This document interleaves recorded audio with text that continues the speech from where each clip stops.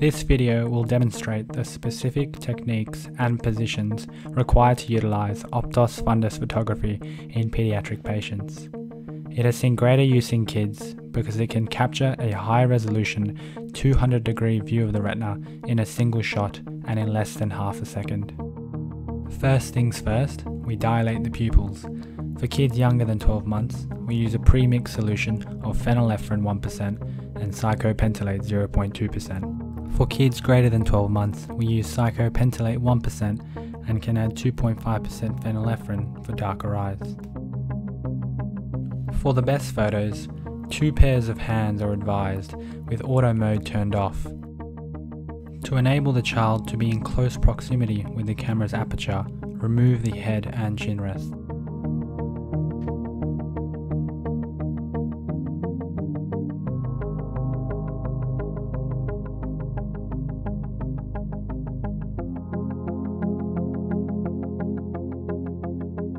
Raise the table to its highest setting or to suit the operator.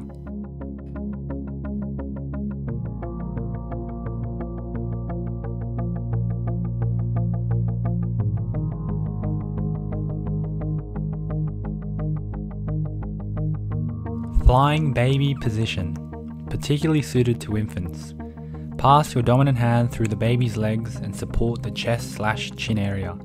Your other hand is placed on the occiput for stability. Guide the infant towards the camera's aperture whilst the imaging technician captures the photos.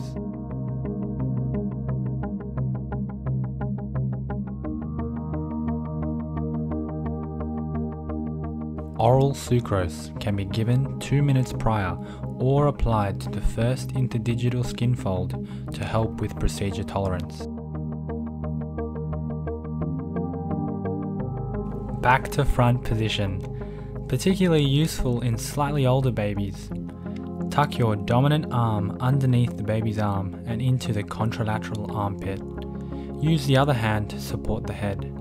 Maneuver the baby towards the camera's aperture whilst the imaging technician captures the photos.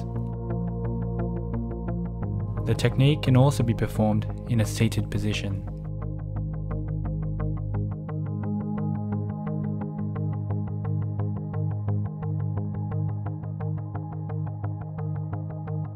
The rear headlock position, especially useful in an uncooperative patient that is combating the machine and best performed in a seated position. Tuck both hands underneath the child's armpits and stabilize the head on both sides. Guide into the camera's aperture. The eyelids can be opened gently to assist image capture.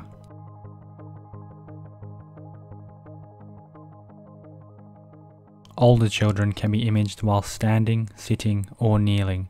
Instruct the child to look into the camera's aperture and guide the head whilst taking photos.